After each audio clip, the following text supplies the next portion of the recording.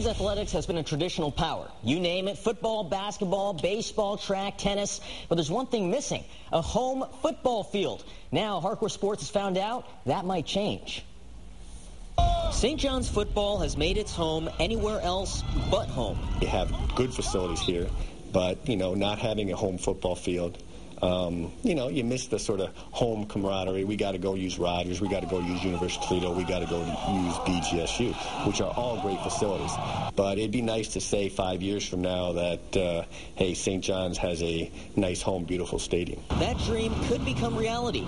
Plans are in the works to develop that home for both football and track. We need a new track because we have a very good track program and our track is very, very old.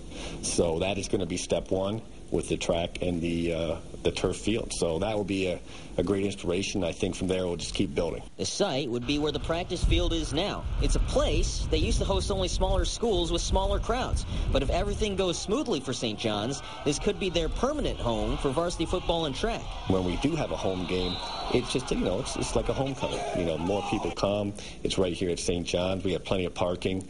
So uh, in the past two years we've had them, we've had great crowds.